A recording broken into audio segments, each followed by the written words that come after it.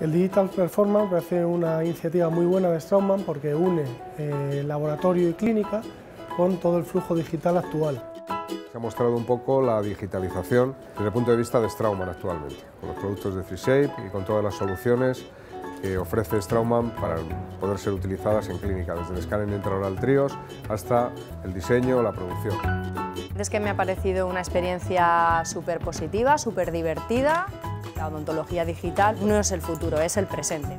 Es cierto que seguimos teniendo esa parte manual, pero que la parte digital nos ayuda en ese día a día.